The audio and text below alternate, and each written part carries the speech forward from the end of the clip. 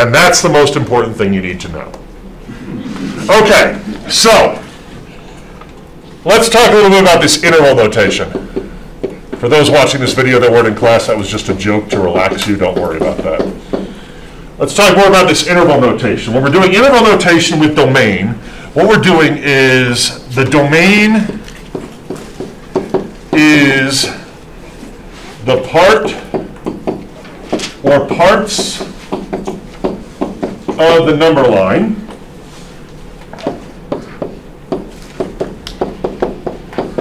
that we are allowed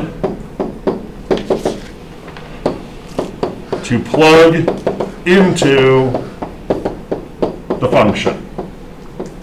So at the very end of class last time, I do realize it was kind of rushed last time, we were talking about how to do domains and interval notation, and we were talking a little bit about how we couldn't divide by zero and how we couldn't take the square root of a negative. Does that sound familiar to everyone? That's where we left off? Okay, so I just kind of want to come back and hit that again. So when we're looking at the number line, like this,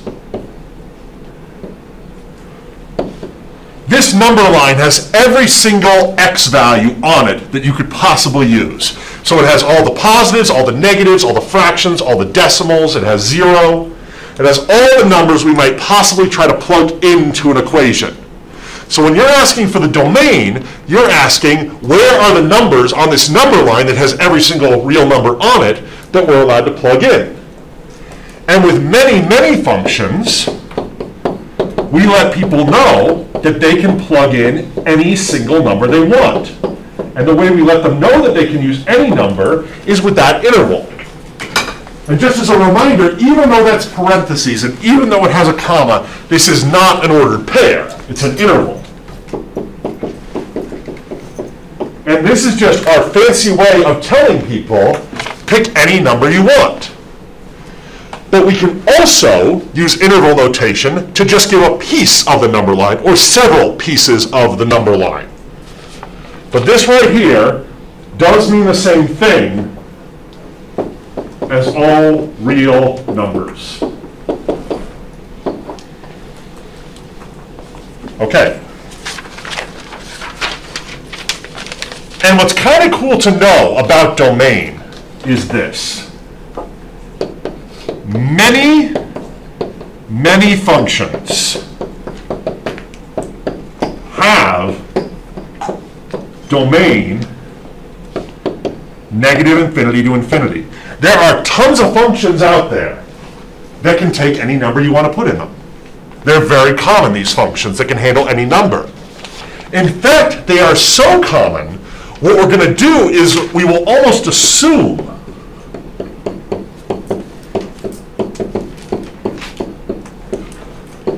our domain is negative infinity to infinity, all the numbers, unless we notice a reason that it is not. So when we approach a new function, we sort of go at that new function and say, maybe the domain is negative infinity infinity. Maybe when someone asks me for the domain for that, all I have to do is write down this and I'll be done. But what I'm going to teach you is I'm going to teach you the things you should look for that will hint you to the fact that maybe the domain isn't this. So,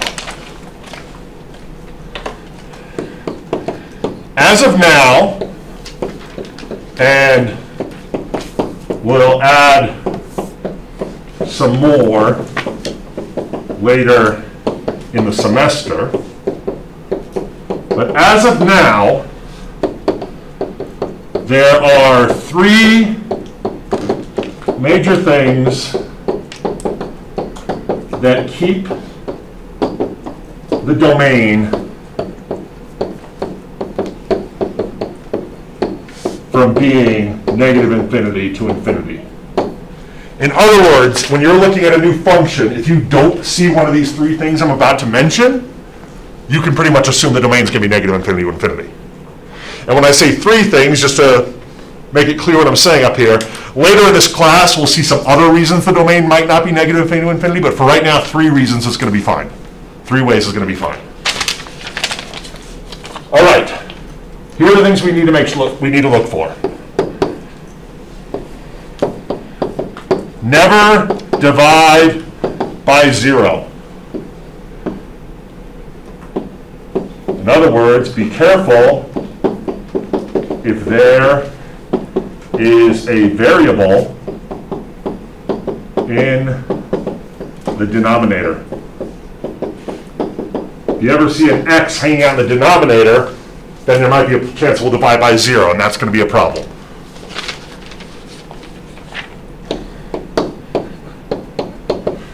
Never take the square root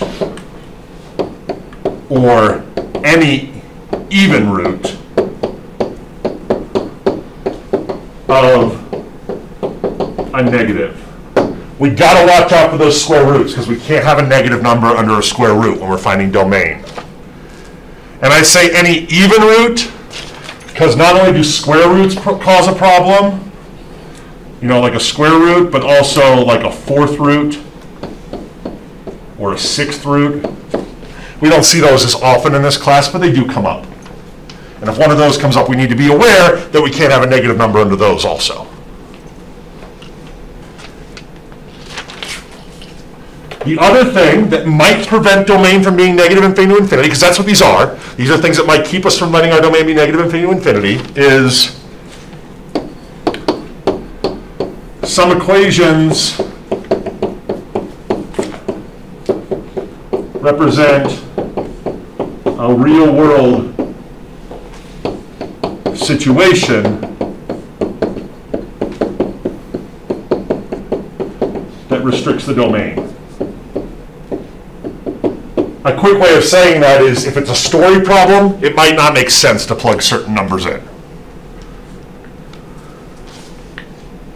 So you walk into a room and there's a function sitting there. I don't know what kind of room you're walking into, but you walk into a room and there's a function sitting there. And the function is yelling at you, please tell me my domain. And you're thinking in your head, the domain's probably going to be negative infinity to infinity because that domain comes up a lot. But first, I better make sure that none of these things happen. Then I can decide. All right.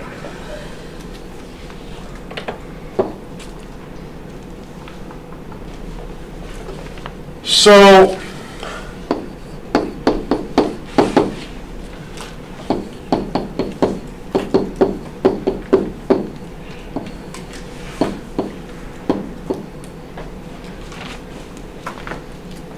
this is a function, and you know it's a function because I'm using function notation.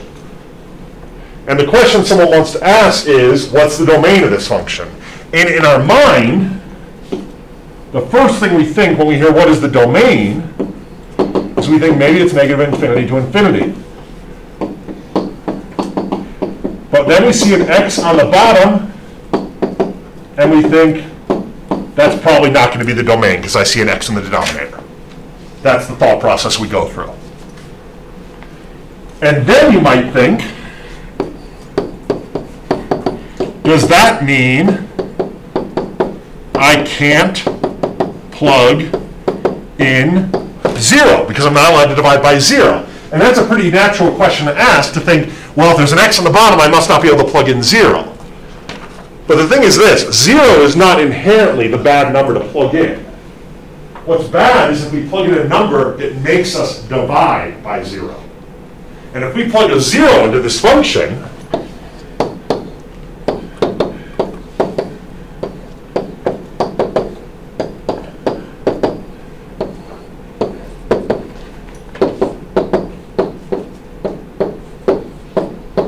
it's not a problem at all. But there is a problem if we plug what in? A 2, because that will cause division by 0.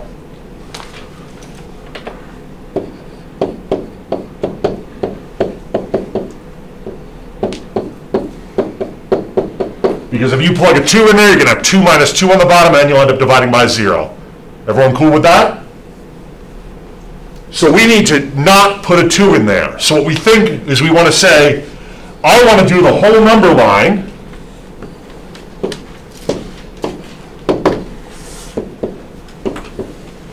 I want to do the entire number line, except I don't want to plug a 2 in there, because 2 is the only number that will cause me to divide by 0.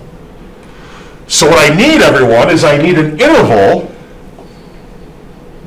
that represents everything less than 2. What symbol do we use to represent all the way down this direction on the number line? Negative infinity. And I go all the way up to 2, but can I actually plug a 2 into this equation? No. No. So I put a parenthesis here, and what that means, just in case you forgot, I was talking about this super fast at the end of class last time, I think. The parenthesis means get as close to 2 as you want, but don't use 2. That's what that parenthesis means. It means you can get as close to it as you want. And why do I say as close to it as you want? Because you can plug in this number if you want. Because if you plug that in, you're not going to be dividing by zero. You can get as close to 2 as you want, but you can't plug in 2. But then you can also plug in any number bigger than 2 that you want. So we go from 2 to infinity. And I got all flustered at the end of class last time. I couldn't remember if this meant and or or, and I actually changed it in the notes. It does mean or.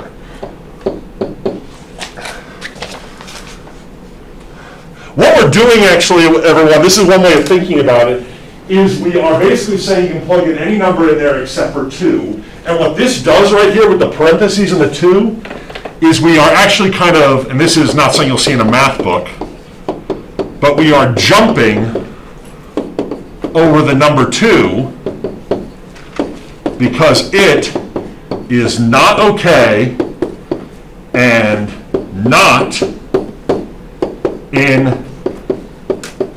the domain. So we just jump over it and we say, any number below it, any number above it, don't use 2.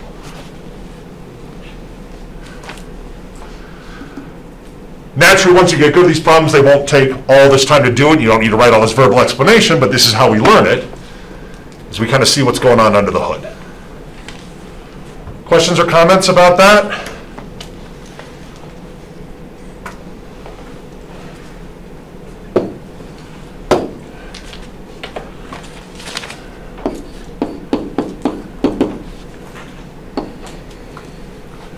Um, let me just recap this one real quick. All right.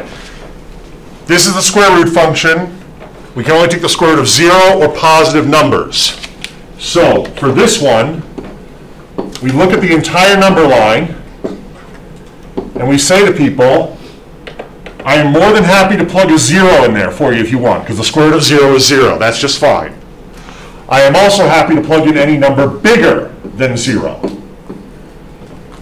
So this domain can be done all with one piece. And what this one looks like is it goes from zero to infinity. We put a parenthesis on infinity because infinity always gets a parenthesis. And then we put a bracket on zero. And what the bracket means instead of the parenthesis is this means you can use this number. In other words, a better way of saying that is it is part of the domain. It was uh, was not jumped.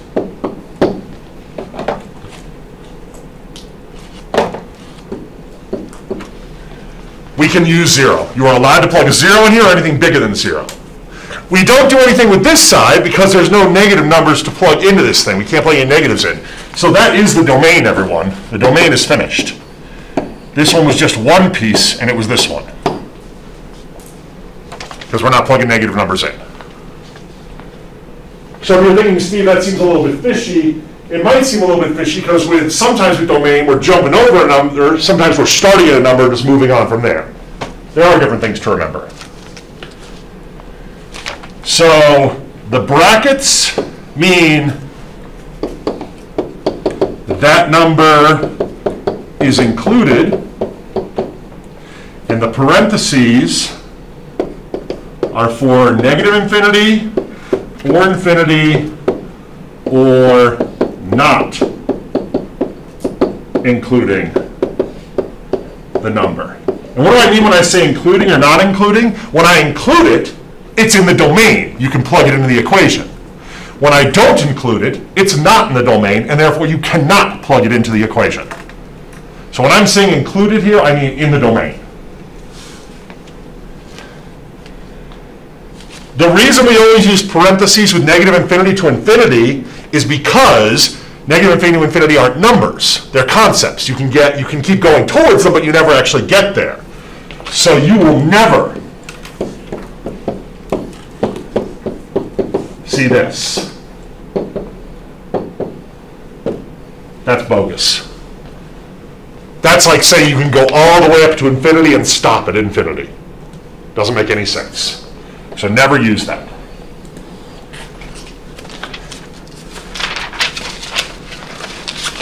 All right, so what are our red flags I said? Our, our big red flags are don't divide by zero. Don't take the square root of a negative, and check this one out here. If there's one thing every algebra student loves, it's story problems. Let f of x represent your pay for working X hours in a week.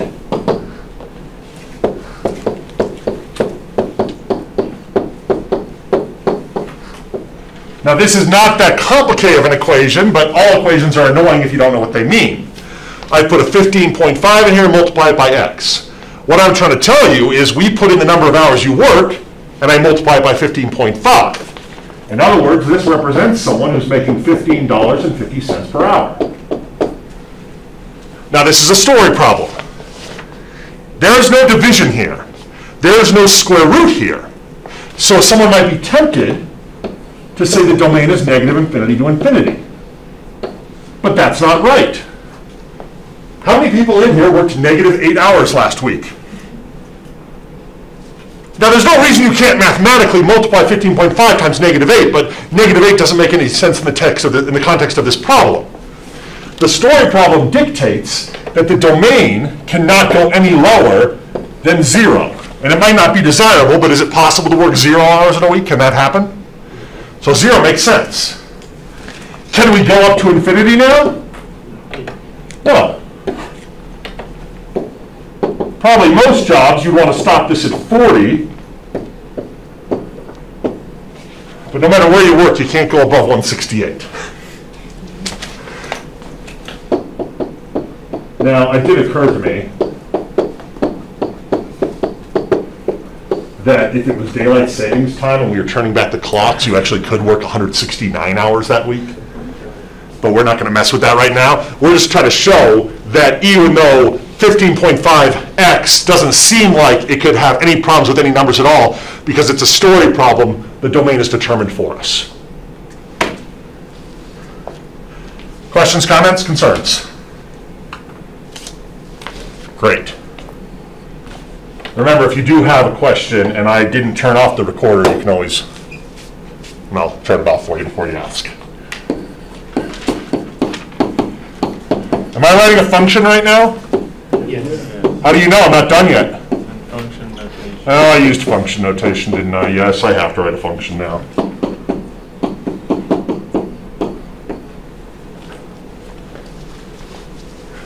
You see this up here, I guess I'll make that more clear, zero. And you start wondering about domain. And you think to yourself,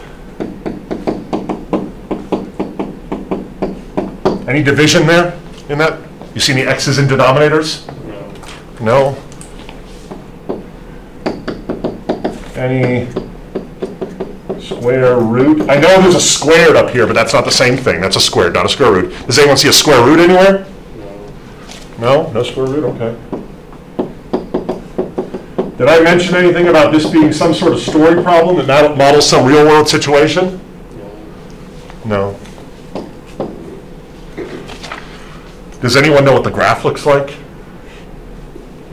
Does anyone know what the domain is? No. Well, if we said no to all three of these things, what's the domain be? Infinity to infinity. Isn't that cool, everyone? If you know what to look for for the domain not to be negative infinity to infinity, once you've eliminated all those possibilities, you can pretty much say domain is negative infinity to infinity. Are those three rules the only three rules you'll ever have to worry about? No. But they're the only three rules we have to worry about till later, and then we'll learn more rules as we go. That's the point. Yep, we're done. It's a very complicated looking function. I don't feel like drawing the graph. I don't think I really could draw that off the top of my head, and, but I do know that I could plug any number in there I want.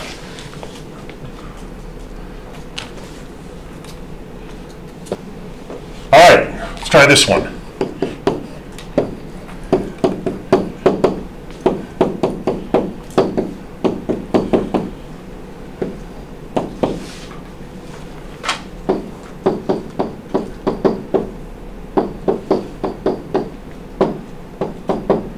Now, this does have division in it. There's a division in there by 17. But 17 is 17. 17 will be 17 yesterday, it was 17 tomorrow, it's just going to keep on being 17. Will 17 ever mystically turn into zero? No. No, it's a 17. So there is division, but not with a variable. So no matter what I put in there for x, there's still just going to be a 17 on the bottom, so I don't need to worry about dividing by zero. And there's clearly no square roots. This is not a story problem, so our domain is any number you want from the number line, negative infinity to infinity, interval notation.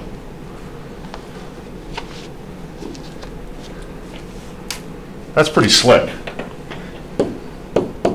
Kind of a nasty looking function.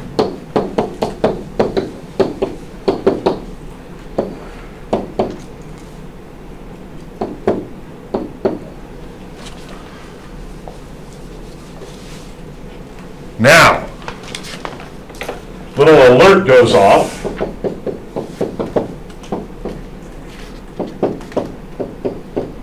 Because we have an x in the denominator.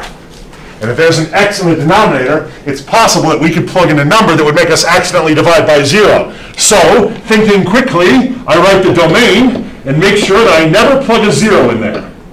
And then I walk away thinking about how I'm the best at math and there's no one better and I've never made a mistake before. But have I made a mistake? Yeah, zero is not evil. There's nothing wrong with zero. The problem is if you plug a number in here that makes you divide by zero.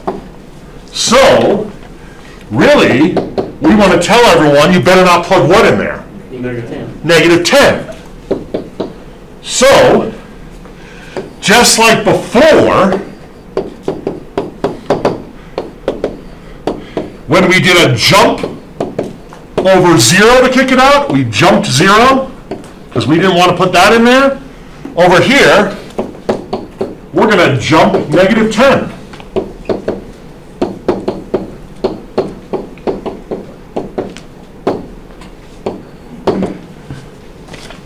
And kick that number out. I can jump any number I want, I just jumped over negative 10. And what am I telling people? I'm saying you can plug any number you want in here, as long as it's less than negative 10 or bigger than negative 10, but don't plug negative 10 in there. It's against the rules.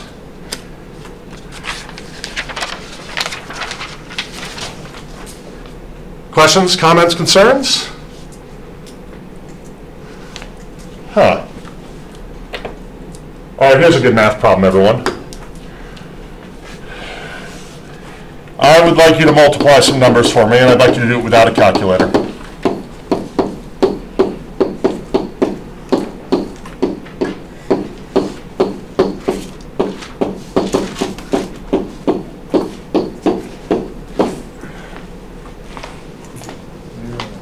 What's that? Zero. Stop being so fast. How did you get zero? And there's a zero in the multiplication. Because there's a zero multiplication, it doesn't even matter what the other pieces are, because there's a zero right there, so this whole thing equals zero. If you're multiplying a bunch of factors together, and one of those factors is a zero, then the whole thing collapses and goes to zero. So, we use this idea if we need to jump several numbers.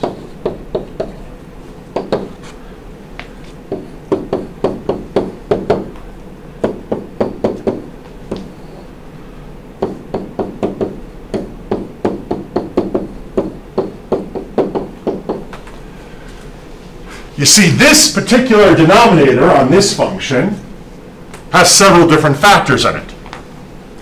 And we know from this multiplication problem up here if any one of those factors is zero, it will turn the entire denominator into zero. Does everyone agree with that? The whole thing will go to zero.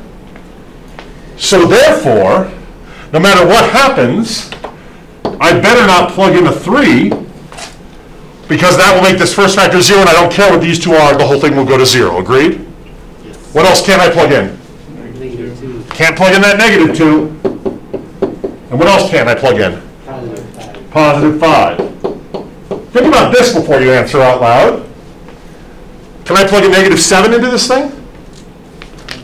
Yes, I hear a yes. I see some noddings, and I see some people that aren't quite sure. Negative seven is fine because we are allowed to have zero on top. That doesn't cause a problem at all. So you don't need to worry about that one up there. Just the ones on the bottom. we can jump as many numbers as we want, but we must do it from smallest to largest the intervals, when we write the interval notation for a domain, it needs to be in the right order. And the order is no, no big secret, it's dictated by the number line. Because I am not allowed to plug in a negative 2. I am not allowed to plug in a 3, and I'm not allowed to plug in a 5.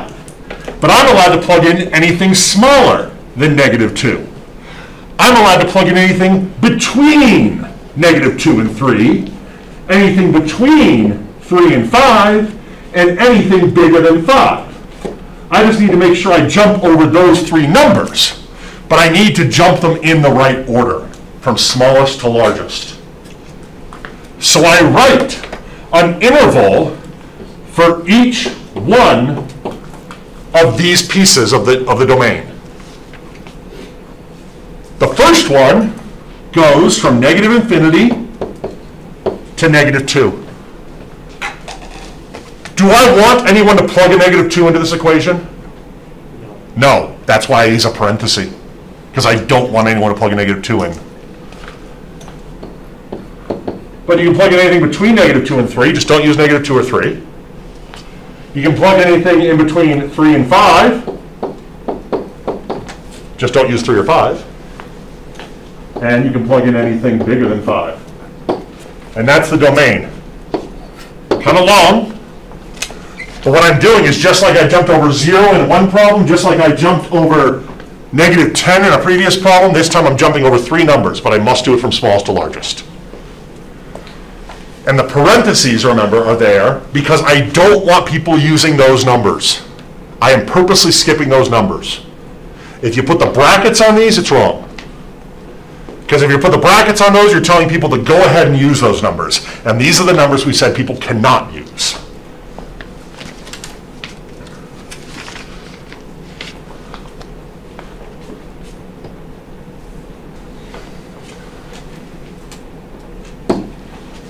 All right, check this out.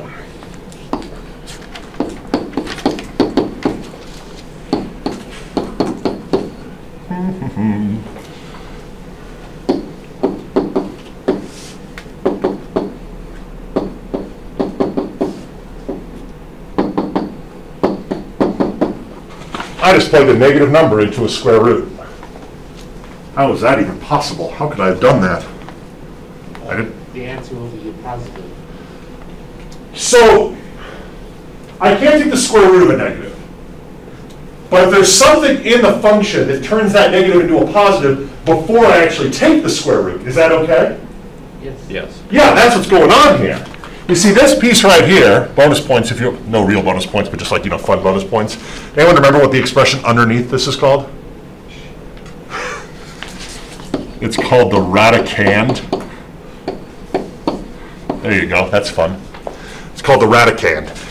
What we need is, we need the radicand to not be negative.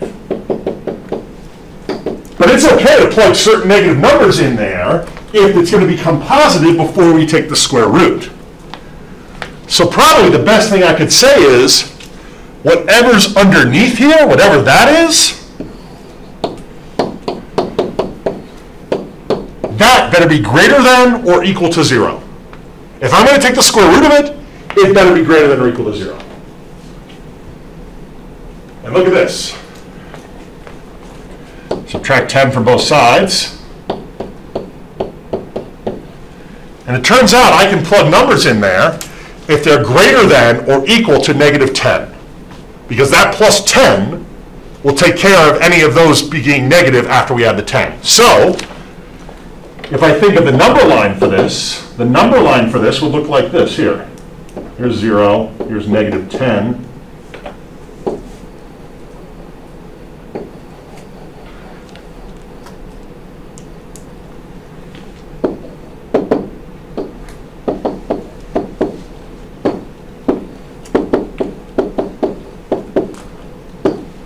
So I want to tell people they can plug in negative 10 or anything bigger than negative 10. Shoot, am I supposed to use a parenthesis or a bracket for that? Bracket. A bracket. Is it okay to plug negative 10 in here? Yes. And I want everyone to know that, and I let people know that with the bracket. Right on. Die. Good, we got our domain. What I sometimes tell people, and this would never make it in a math book either, but I sometimes tell people, if you ever have f of x equals the square root of some mess, the secret is to take the mess and set it greater than or equal to zero. Then you solve for x and turn into an interval, and you win. So if someone gives you this, a square root of something, and they want to know what's the domain, you take whatever's underneath there, whatever the radicand is, you set it greater than or equal to zero, solve for x, and you win, just like we did here.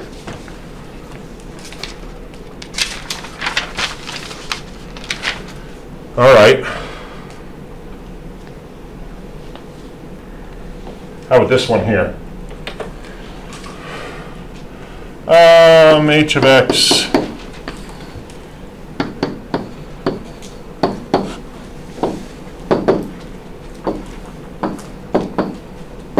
How's that look? Does that look okay? No? no? I, I'm the math teacher, so take another look. That looks okay, right? Yes. No. Oh, shoot.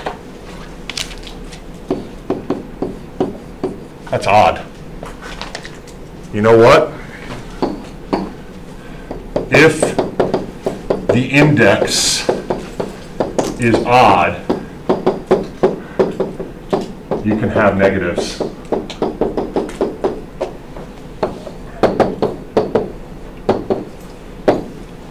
I remember that now. Shoot, I remember. I'll be right back to this page, but I remember that back here somewhere. Where was it? Where were those red flags? Never take the square root or any even root of a negative. This one's a cube root, everyone. It's odd. So it doesn't follow the same rules, and it's okay to have a negative underneath there. Don't let that fool you. Everyone see that all right? You got to be careful because we get so used to doing square roots we forget that the cube root can, uh, can handle the negatives. All right, that's good to know. But what about this? And here, here's the big one. Here's a problem. No, I just used H. Use a different letter here. F.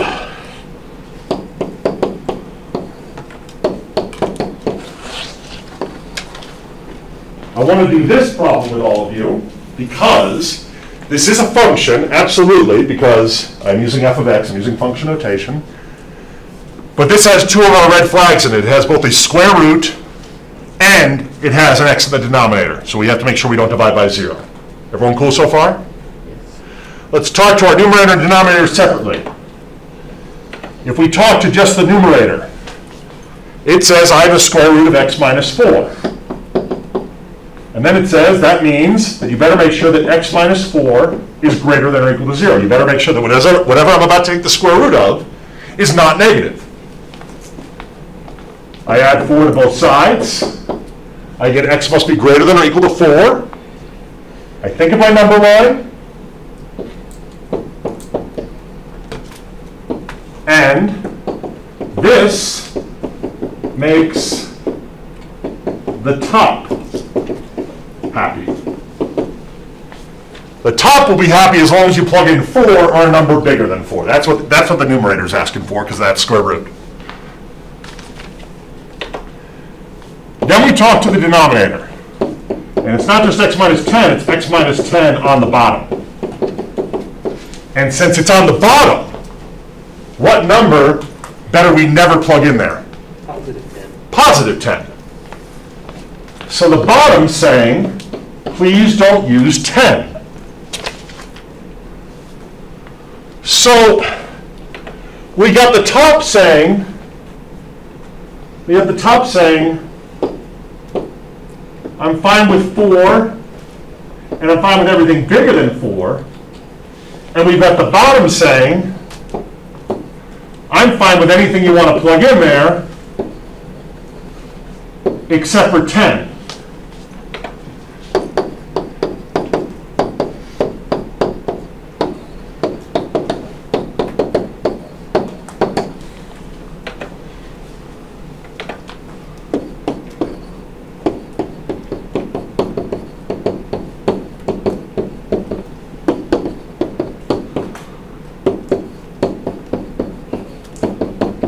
Make both of them happy is we say, I'm going to plug in 4, anything bigger than 4, except for 10.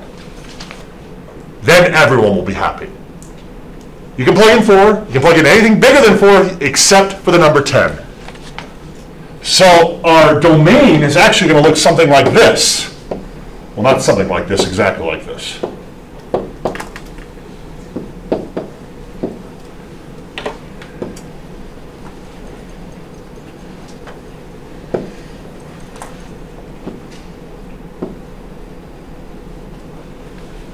Do you think it's possible to write that in interval notation?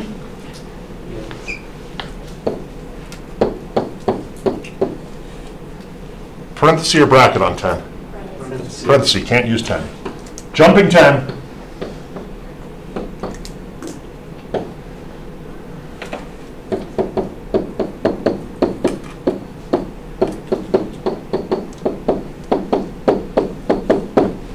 Four is cool, so it gets a bracket. 10 is not, so it doesn't. We jump it. And we just found the domain of a pretty complicated function because it had both a square root and a possible division by zero. We took care of both things.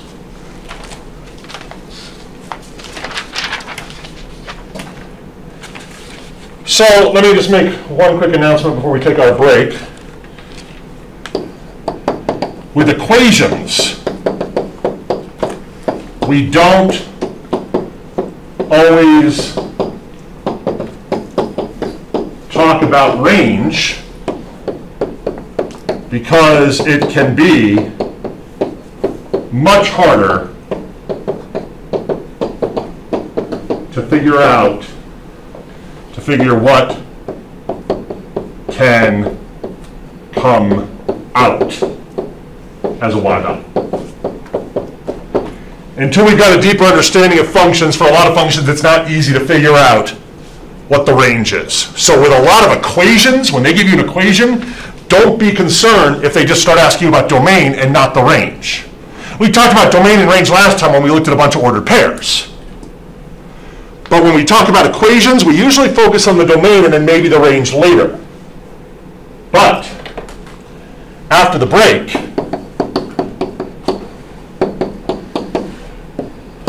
we will do domain and range of graphs.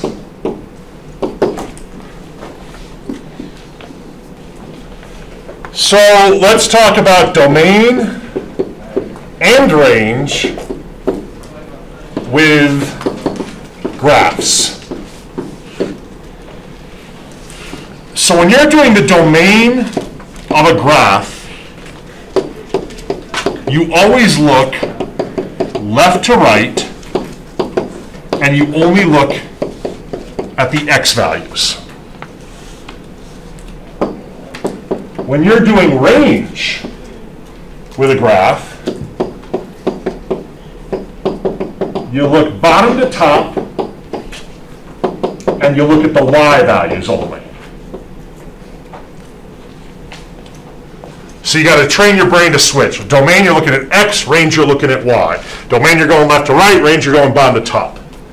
And we're going to keep using interval notation.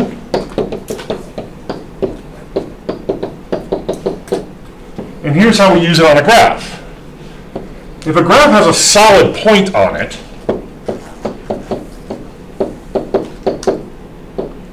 we're going to use brackets to say we actually get to that point.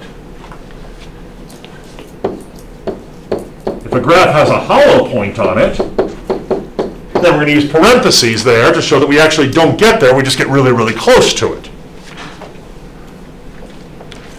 And many graphs have arrows on the ends to show they just keep going forever and ever in some direction.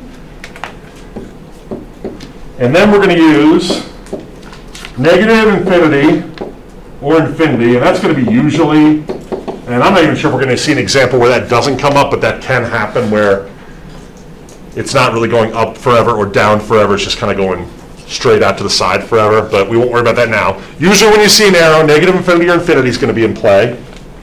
And of course, with negative infinity or infinity, we always use parentheses. That hasn't changed. So this makes a lot more sense once we get some practicing. So we're going to practice these. And I have prepared some graphs ahead of time, so I'm going to put them up here. So once again, please remember, you don't need to copy down the graphs. You can use my graphs up here to write your answers down if you want to play along, and that would be great. And then later you can print off the graphs. But don't feverishly try to be copying down these graphs and then like miss what we're talking about. So let me see how slick I can be with this.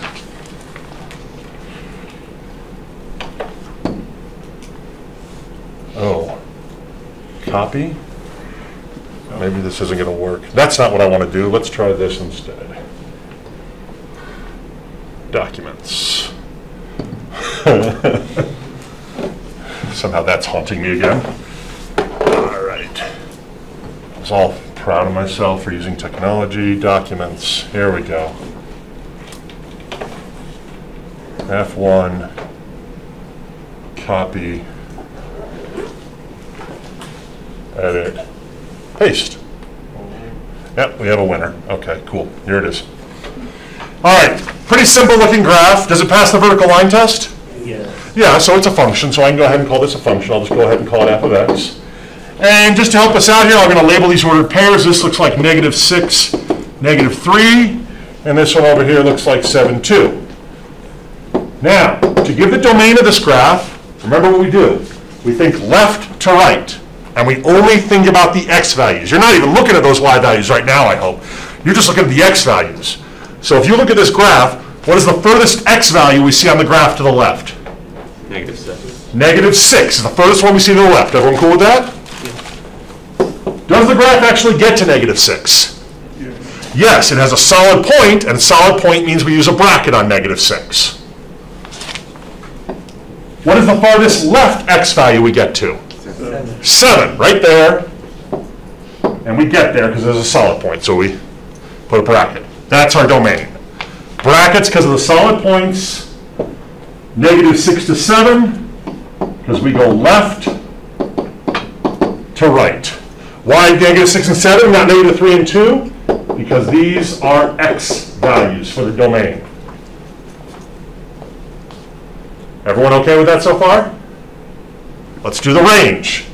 We got to switch gears because now suddenly we're going bottom to top, and now we're looking at y values.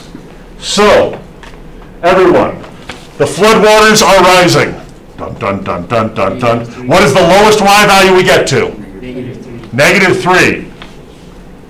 Solid point, bracket. Everyone, the ceiling is collapsing.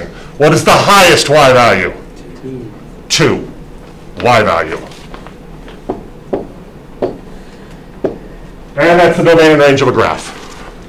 Yeah? If there was a point in between, would you go bottom up and top down still? All right, let's look at another one of these.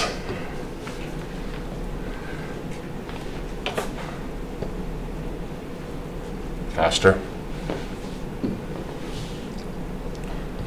Mm-hmm. Okay. So here's another graph. I'm going to label a few ordered pairs on this one. So we've got negative 7, 3 up here at the top.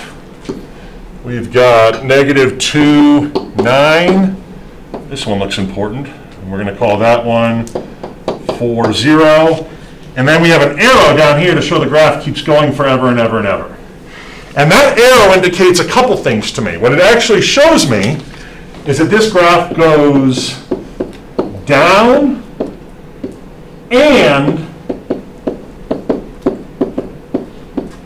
right forever.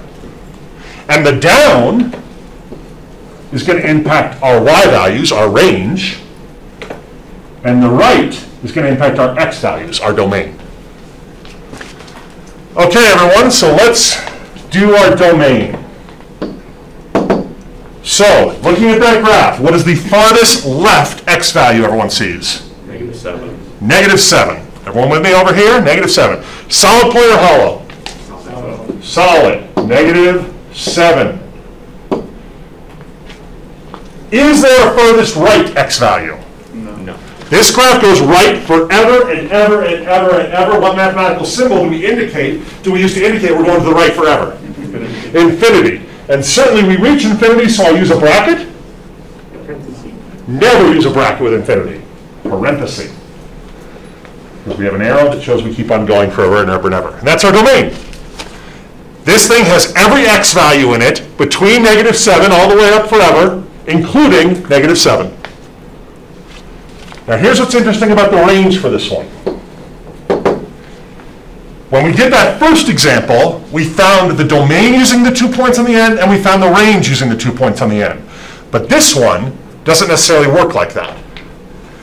Let's start with the floodwaters rising. I don't have to rise them very far because the graph goes down forever. Does everyone see that?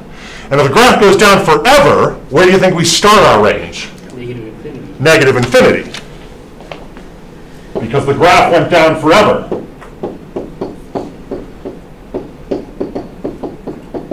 But it's not this end point that gives the highest point on the graph.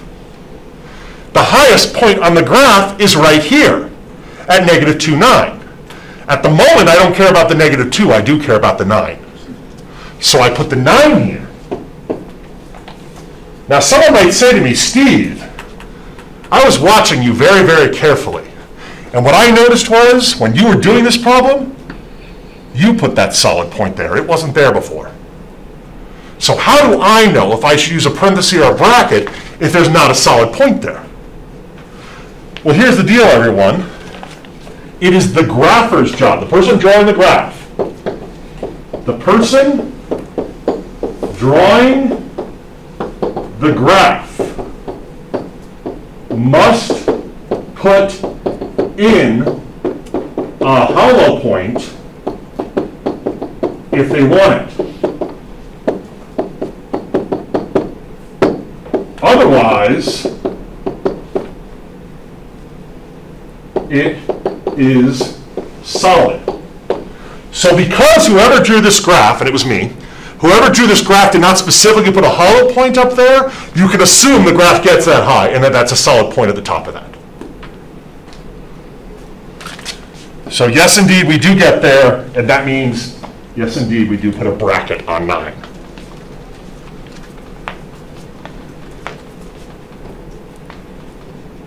What's, what's tricky about the domain and range of a graph is because we're working with functions mostly in this class, you're going to find your domain just by looking at the farthest left point and and, the farthest right point. But when you find the range, they're not necessarily going to be the endpoints of the graph. You've got to come sometimes go in the middle to find the highest or lowest point. And that causes people some grief. So just be careful of that. Because a lot of people might look at this and they might just see like this piece right here and they might say, oh, that's a low point on the graph. So I guess the low point is three. And they forget they're supposed to be looking over here at the arrow. All right, let's do another one. Let's do another one. Um, I guess I'm up to graph number three now.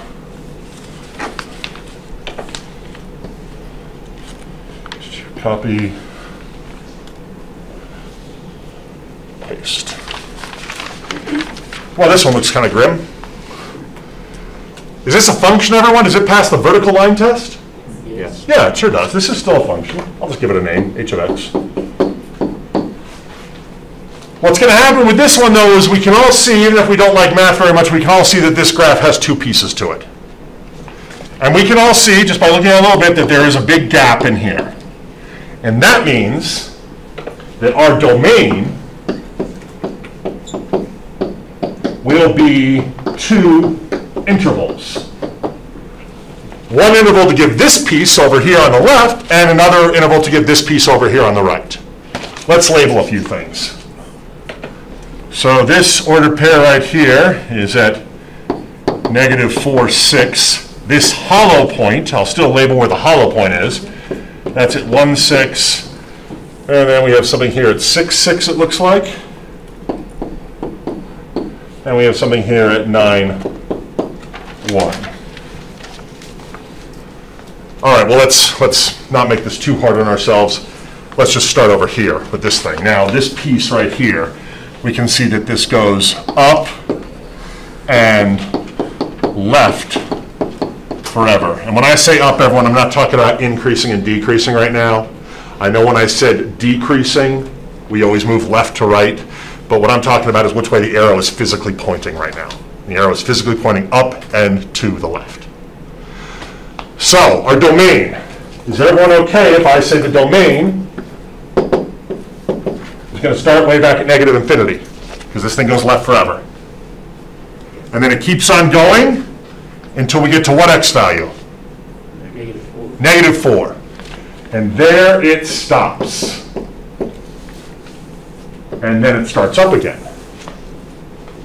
So there's another piece to the domain. And this is kind of a trick question, the way I'm asking it. But as far as writing our interval over here, not worrying about parentheses or brackets again, but as far as just writing our interval, what number are we going to start our domain back up at again?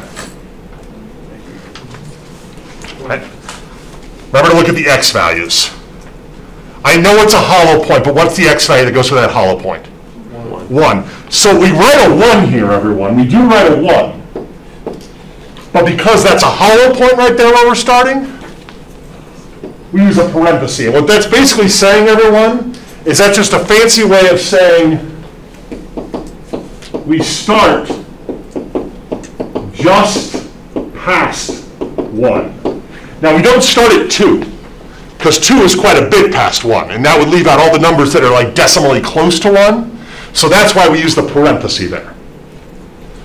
And then we continue moving to the right until we get to what number? Nine. 9. The x value, 9. Everyone hip to that? Between 1 and 9, but 9 gets a bracket because we actually get to this 9, this x value, and we didn't actually get to this x value of 1.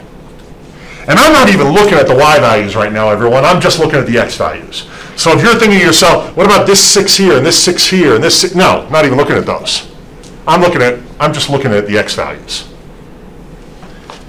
Now when I do the range, I'm going to look at the y values. The waters are rising, everyone. The waters are rising. Have I hit the function yet? No. When am I going to first hit that function at what y value? 1, one, right here. That one right there. Is that a solid point there or a hollow point? So the lowest point this graph ever reaches on the y-axis is 1. And I use a bracket because of that solid point. All right, now here's a good reason to come to class, because if you try to figure this out later and you didn't come to class, this would be weird. But pretend you're over here and you have your laser cannon. And with your laser cannon, you're going to shoot beams straight out. And you're never going to go lower than one because that's where our range begins. Now, my question is this. As you work your way up here, shooting your laser cannon, is there anywhere above one that you can actually shoot a beam through and miss the function? This is weird, everyone. The function clearly has a gap in it. But that only makes us have a gap in our domain, not in our range. Because even if you shoot your laser beam right here, even though you're not going to hit that hollow point right there, you're going to hit this solid point here, and you're going to hit all these other solid points along this part right here. Right along here. And here. So there is not a gap in the range, even though there is a gap in the graph. So really, if we can never find another gap as we work our way up, where's the range going to stop? Or where is it not going to stop, I should say? Infinity. Infinity. Isn't that wild? That even though there's a hole in the graph, there's not a hole in the range. It makes sense because the line just goes across. Yeah, it's solid if you go, like if you, if you're this person over here with the laser cannon. Good luck with that.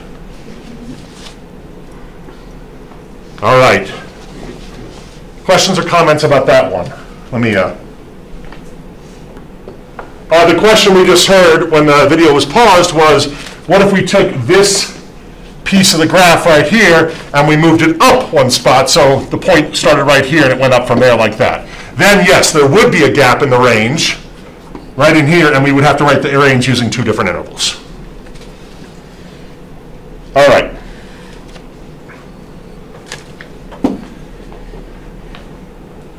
All right, here we have another function. It does pass the vertical line test, so we can call this a function. And it looks like we have a hollow point, it is hollow, up here at negative 2, 8. And we have a solid point right here at 0, negative 5. So it looks like our domain is going to have a gap in it. There is a gap in the domain. So, domain. First piece over here. How far to the left does this first piece go? Negative infinity. All the way up to very close to but doesn't quite reach? Negative 2. And the way we indicate to everyone that it doesn't quite reach negative 2 is with a parenthesis. Then, where does the graph start again as we're going from left to right? At what x value? Zero. Zero. Does it actually start at zero? Yes. Yeah, the solid point tells us that. And on to infinity. Infinity always gets parentheses. The reason I did this example, because it doesn't seem as bad as the one we just did, but the reason I did this one is because the range is not an interval. It is just a list of two numbers. The range in this thing is not like from negative infinity to like negative 12 or something like that. It's just two single numbers because every ordered pair, every single ordered pair on this graph is either on this piece up here or this piece down here. And every single ordered pair on this piece up here ends with a value of 8. And every single ordered pair on this piece down here ends with a value of negative 5. So the only two y values we're ever going to see anywhere in this function are 8 and negative 5. So I don't use parentheses, I don't use brackets, because those are for intervals. I use my braces. Why am I doing that? Because I'm not writing an interval, I'm just going to write a list of two numbers.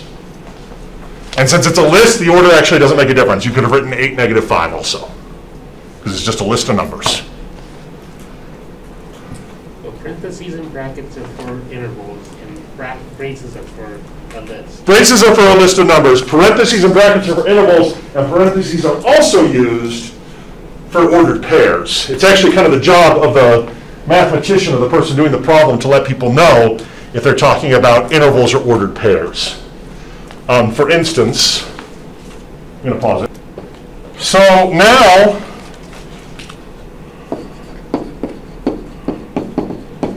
we talk about increasing and decreasing, which are two words I kind of alluded at earlier. Uphill and downhill.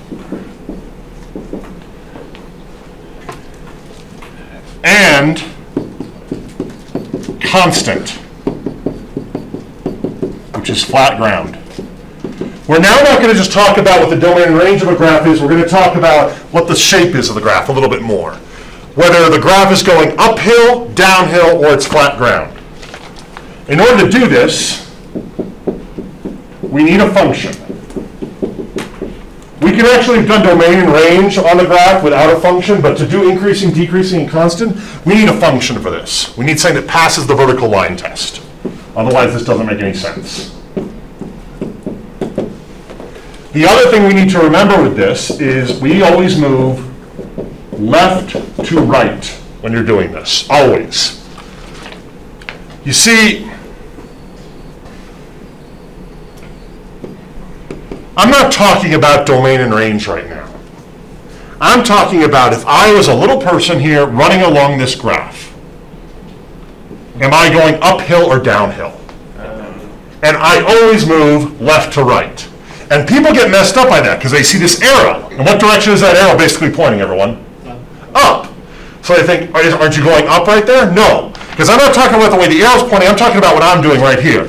Look, everyone, as my long green hair flows in the breeze, as I make my way across this graph, right here I'm moving downhill, right here I'm moving uphill, because I always move left to right. So, if the picture looks like this, and remember, don't really worry about which way those arrows are pointing.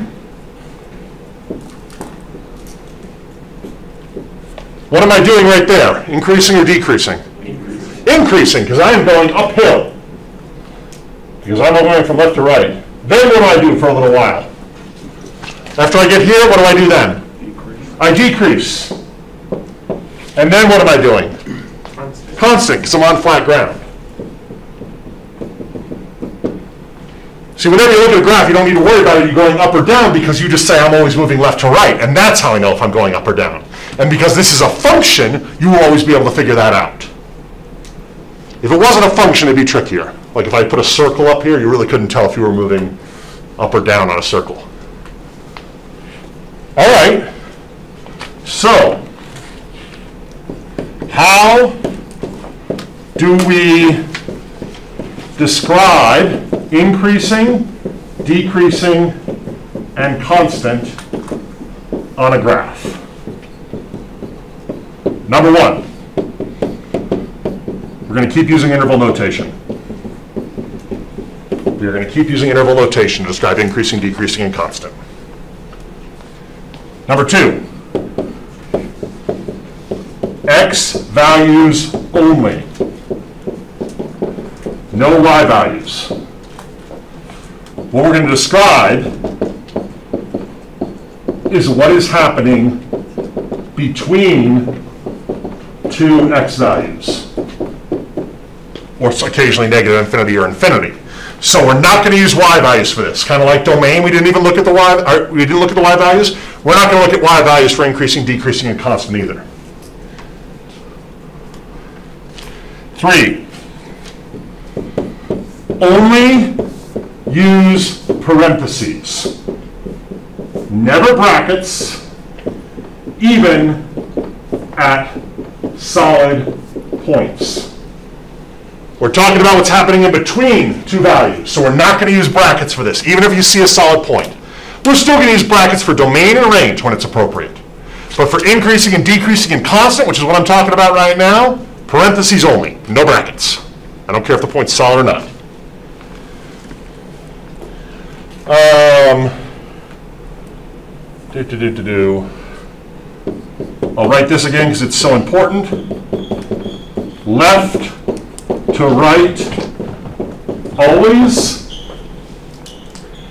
And five. Multiple intervals, in case there's like two hills our little stick figure runs up.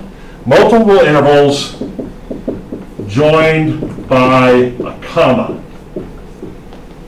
Not the union sign. And I know that's a lot of rules, everyone, but math has a lot of rules. We need to make sure we're all using the same notation. So when we write a bunch of intervals for like maybe if there's several hills our little stick figure runs up instead of just one, we don't join those with the union sign like we would with domain or range. We do join them with a comma though.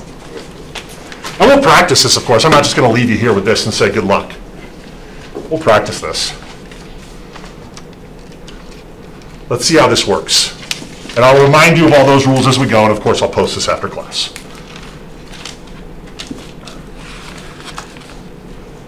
All right. Let me get my graph here. Uh, graph number six is what I want. Copy.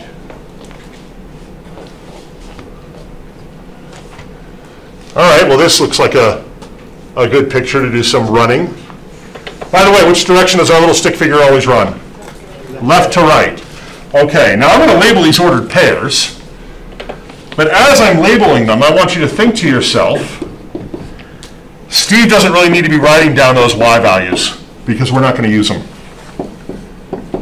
So really, you should just be looking at the x values of these ordered pairs.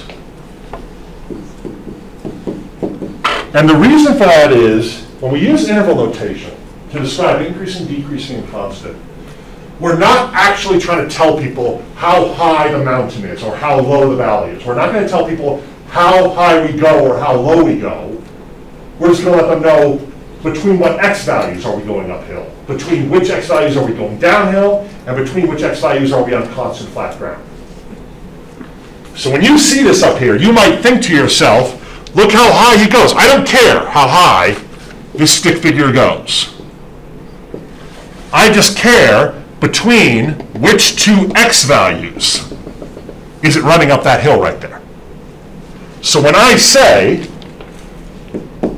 increasing, and I'm going to give an interval where this guy is increasing, what's the first interval I'm going to write between what two x values? Negative 8 and negative 6. Those are the two x values between which he's going uphill.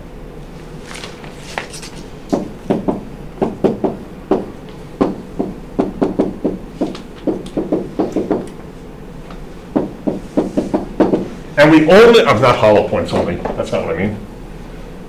I mean parentheses only for increasing, decreasing, and constant. So between negative 8 and negative 6, we are going uphill. Is there ever another time that our little stick figure is going to go uphill? Yes. yes. Yeah, between this x value and this x value. And once again, you might be thinking, do I need to say how low he is here? No, I don't care how low he is. Do I need to say how high he is here? No, you don't. I just care between which two x values are we going uphill, and what are they? Negative nine and five. Careful, between which x values are we going uphill? 7 and 10. X values only. X values. Don't even want the y's right now. So between the x values negative 8 and negative 6, we're going uphill, and between the x values 7 and 10, we're going uphill.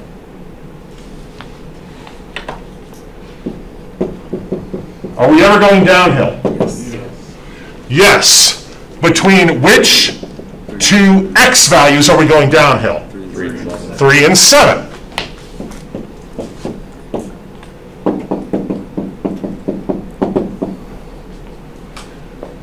Between which two x values are we on flat ground? Is the function constant? Between which two x values?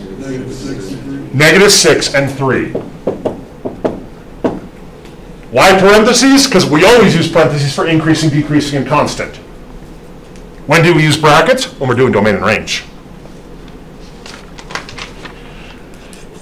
So, just remember, I don't care how high you go. I don't care how low you go. I just care between which two x values are you doing it. While we're here, let's see if we can switch our gears and our brain for a moment and see if we can jot down the domain and range. And for domain and range, is it possible we're going to be using brackets again? Yes. Yes. Yes, it is. So now, still working with x values only, because we're doing domain, we look at the furthest left point, the furthest right point, and we give those two x values. What's the furthest left x value? Negative 8. What's the furthest right x value?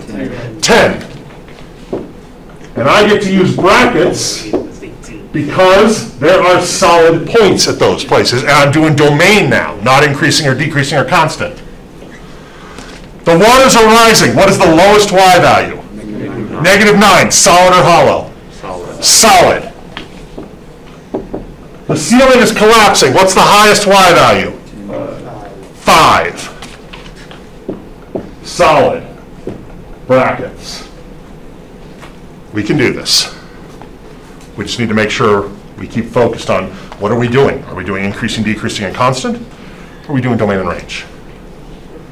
If you're thinking to yourself, it seems like you spend a lot more time looking at x values than y values, you do. Because all of these, increasing, decreasing, and constant are x values. The domain is x values, and the only one that's a y value is the range.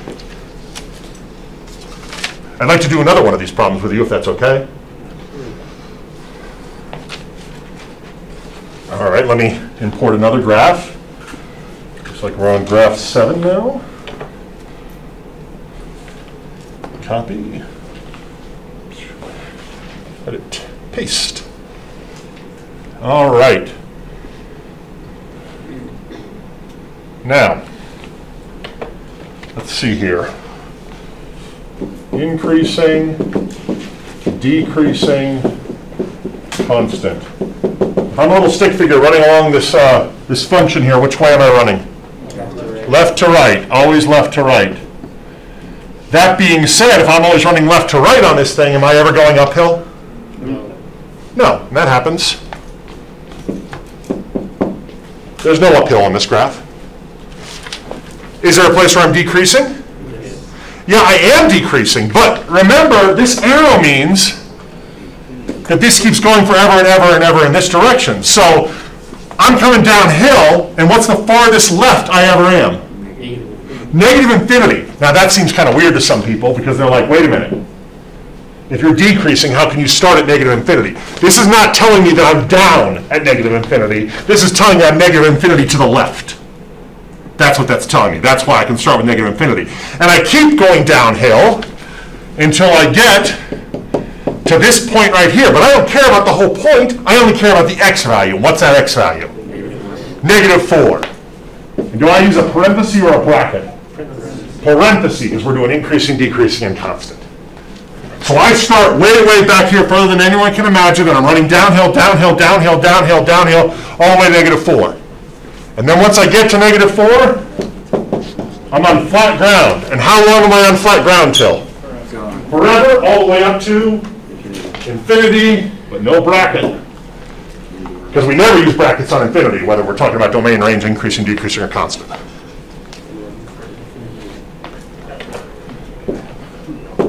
How far to the left does this graph go?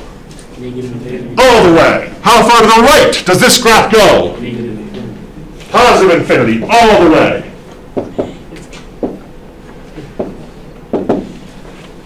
How low does this graph go? Five, that's the lowest y value on the graph you'll ever reach. There's tons of places where you're at that five, but that's the lowest we ever go, It's five. But how high does it go? Infinity, because this arrow's going up and to the left.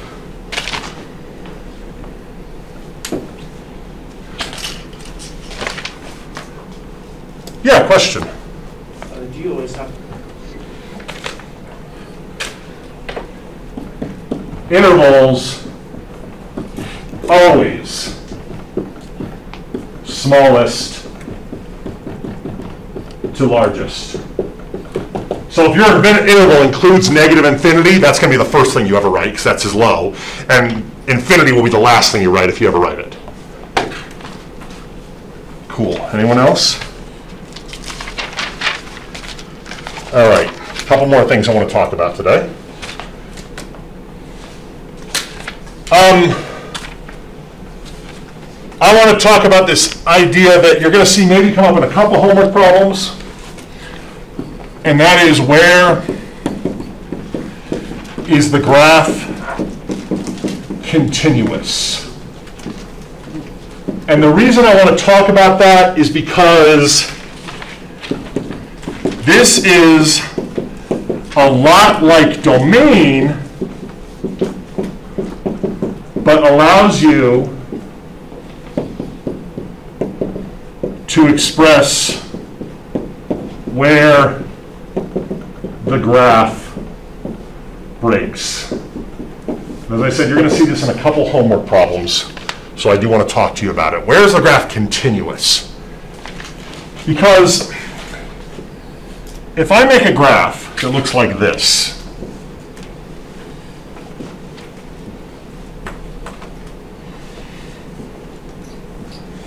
First of all, do we agree that that's a function because I used a hollow point? We talked about graphs like that last time. This is a function. That hollow point makes it so we do pass the vertical line test right here at 2. But this graph right here has a domain of negative infinity to infinity. And if someone just told you the domain of the graph is negative infinity to infinity, you might just think it's all one piece that goes left forever and right forever. But if someone asks you where the graph is continuous, this is when you get a chance to say, well, there's one piece that goes from negative infinity to 2, and then there's another piece that goes from 2 to infinity. And you might be thinking I made a mistake, but use parentheses only for continuous, even if there's a solid point. And this is what allows you to say that if you're on this piece, that piece kind of goes from negative infinity to 2. That's where it's like one solid piece, and this one goes from 2 to infinity. But we do use parentheses for this. This is actually a big deal in a, in a calculus class. If you ever take Calc 1, which I hope a lot of you do plan on going on to take that, you talk a lot about continuity in there, or if a function's continuous or not. The reason it's sometimes people get it confused with domain is because a graph like this, the domain is negative infinity to infinity, and it's also continuous from negative infinity to infinity because it's all one piece. And sometimes people think continuous, where a graph is continuous is the same thing as domain, but the domain just tells you what x values you're allowed to plug in. When you start talking about if a graph is continuous, you're talking about how many individual pieces does it have. And that's not a huge deal in this class. You might see one or two homework problems on that. I just wanted you to be ready for it when you saw it, and I didn't want you to think it was the same thing as domain. You're actually kind of talking about the pieces that make up the graph. And there could be more than one. So don't freak out when you're doing your homework and some problem just suddenly says, hey, where's this graph continuous? It's talking about, tell me about kind of the domain of each individual piece. Question? So does it only go continuous?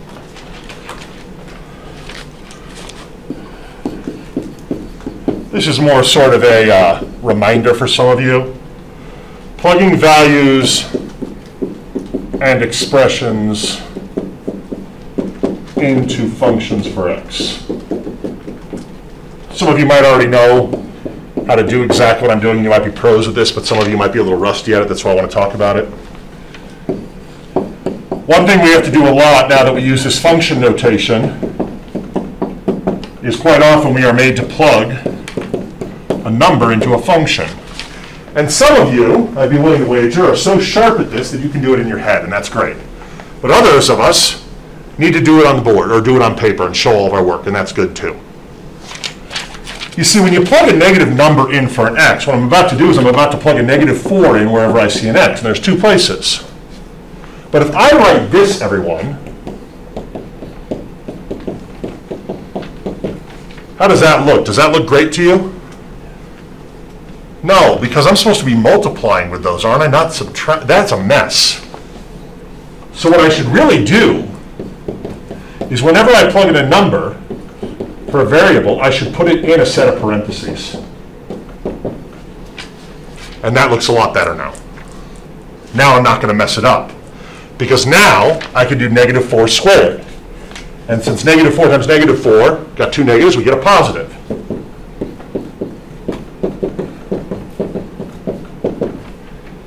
And I can do negative 3 times 16 is negative 48. 5 times negative 4 minus 20 minus 2 equals minus 70. And I'm done.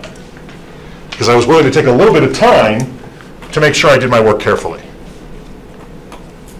Those negatives can mess people up. Because even with a simple function, well, simpler than the one we just did, like this one, if someone tells you to plug a negative 11 in there, many other people that write this. And negative 11 squared like that actually means this.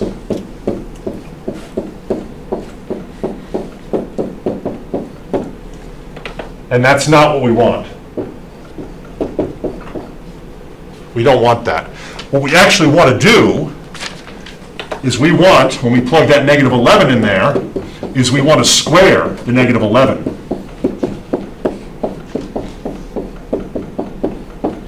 Like that.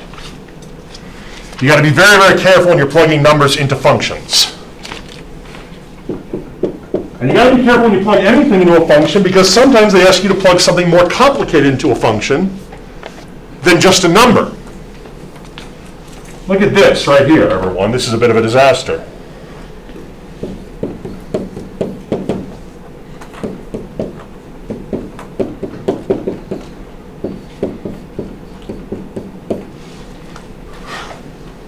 You see, when they put something inside those parentheses, when they replace that x with something else, whether it's a number or it's an expression like this, they expect you to do the same thing. And that is, put that wherever you see an x.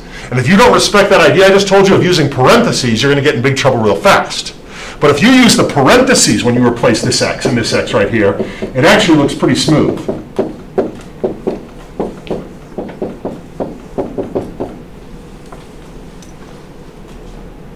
Then, then you see some of the worst instructions you can ever see in a math class.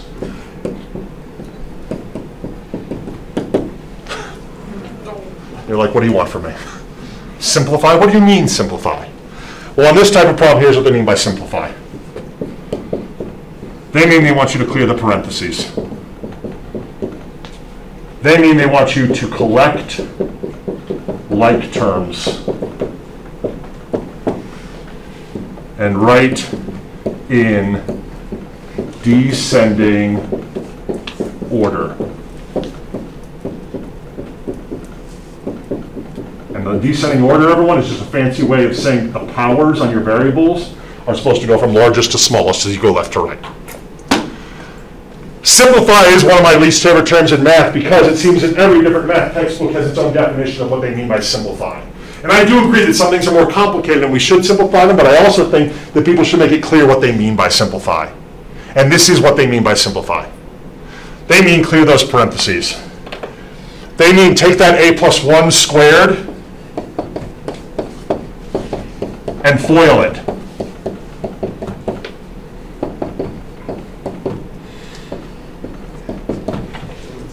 They don't mean distribute the square. You cannot do that. Never, you know what? I can't, no, I'm done. I can't do any more tonight because I just thought about someone doing that and it made me angry. Everyone, we're done for the day. Actually, it's also time, I'm not just angry. Um,